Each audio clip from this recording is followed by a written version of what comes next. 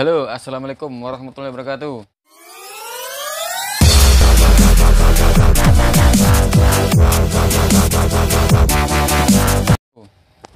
Gimana kabar teman-teman hari ini? Sehat? Semoga kalian semua sehat. Eh, selamat pagi teman-teman. Eh, kembali lagi di channel Warsitokraft. Dalam video kali ini aku mau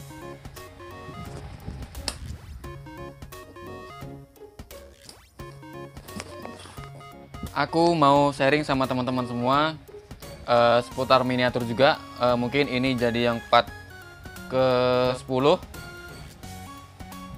Nah, uh, dalam video sebelumnya udah membahas banyak banget tentang pembuatan miniatur per bagian. Nah, kali ini aku mau sharing sama teman-teman semua buat teman-teman yang pengen belajar. Uh, ini teman-teman uh, kali ini aku mau ngasih tahu kalian cara nempelin kaleng ini lembaran kaleng ini sama ini sama ntar di di aneh di ingin di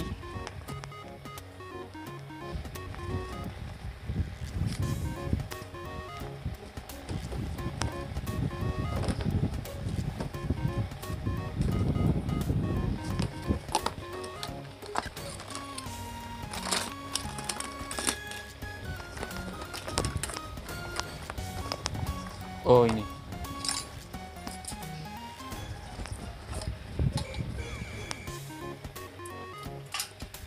Nah ini teman-teman.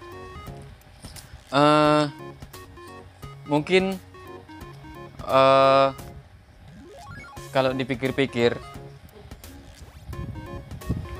ini kayaknya mustahil banget uh, lembaran kaleng yang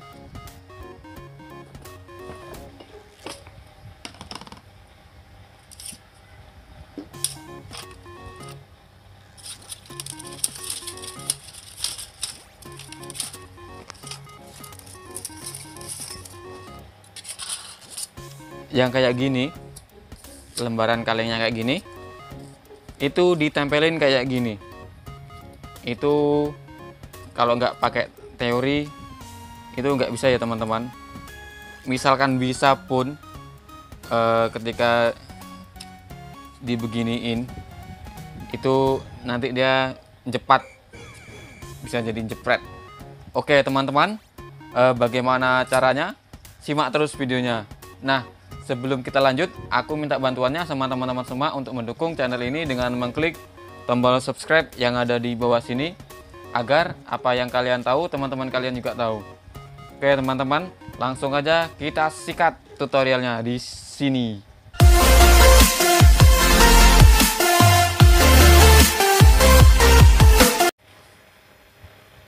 Oke teman-teman, uh, caranya uh, ini lembaran kaleng ini udah diukur ya teman-teman. Ini lembaran kaleng untuk bagian ini. Nah uh, sebelum dipasang ini bagian ujungnya ini kita rapikan dulu. Pakai gunting besar ya teman-teman biar lurus. Oke kalau sudah uh, ininya untuk tepongnya ini kita rapikan dulu biar nanti masangnya enak.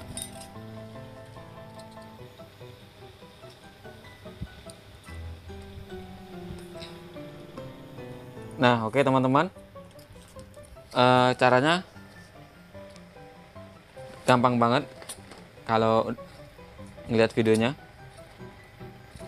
Nah ini uh, itu terserah teman-teman ya. Itu nanti yang ini mau ditaruh di luar yang ada gambarnya atau yang putihnya ini yang tar mau taruh di luar. Tergantung request. Kalau yang ini kalau yang ini uh, karena ininya di luar jadi dia warnanya juga ikut di luar. Nah itu terserah teman-teman. Aku mau yang ini gambarnya di luar. Oke. Uh, ini kita lipat dulu ya teman-teman. Caranya uh, ini bagian ujung kita lipat sedikit.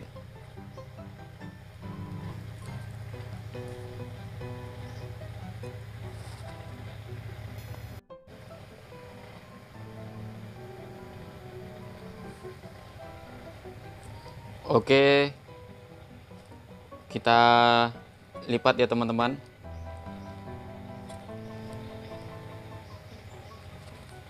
Dilipat.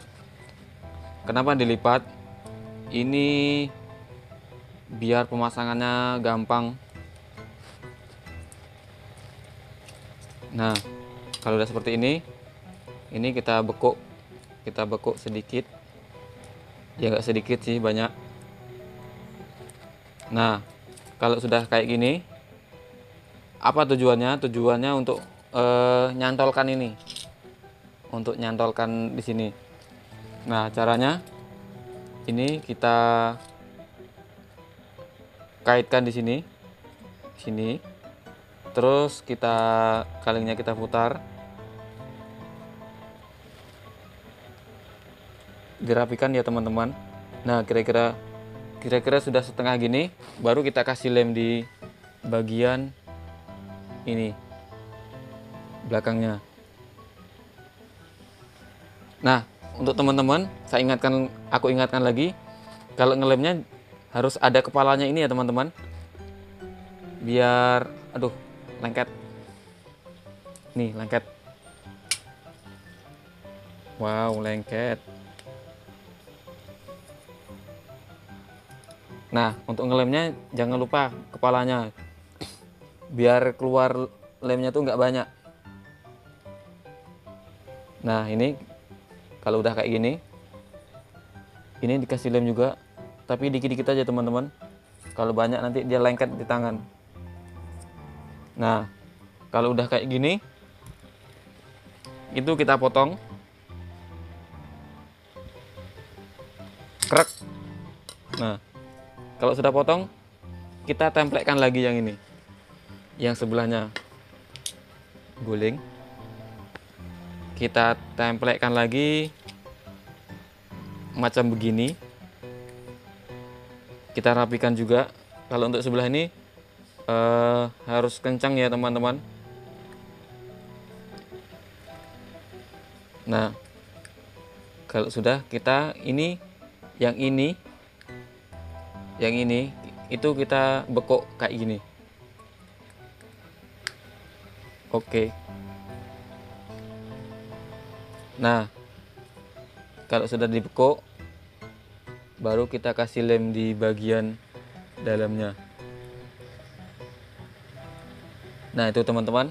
Jadi tujuannya kalengnya dilipat itu biar lengket dan tidak goyang-goyang. Cobalah teman-teman praktekin uh, ngelem. Ntar praktek ya teman-teman. Ngelem ini pinggirannya ini tanpa dilipat itu pasti susah banget. Soalnya ini eh, nggak uh, ada pengunciannya. Apalagi ini apa ya semacam pinggiran kayak gini itu kan kalau dilem susah banget apalagi ini kaleng. Kalau kertas ya. Nah itu teman-teman. Jadi uh, sebelum dilengketkan kayak gini itu kalengnya dilipat sedikit lalu dilengketkan apa ditemplekkan dilem sedikit-sedikit biar nggak lengket di tangan ini kena kena lem nih teman-teman. Oke? Gampang kan kalau teman-teman mau belajar membuat miniatur uh, lihat aja uh, tutorial tutorial yang sudah pernah aku buat. Di sana uh, lengkap. Kalau misalkan ada yang belum paham silahkan komentar di bawah. Oke teman-teman. Uh, gitu aja cara menempelkan kalengnya. Mudah-mudahan bermanfaat. Di lain waktu kita sambung lagi seputar miniaturnya Sekian aja dari Warsitokraf. Kurang lebihnya minta maaf. Wassalamualaikum warahmatullahi wabarakatuh. Pancen Oke, yes, yes, yes.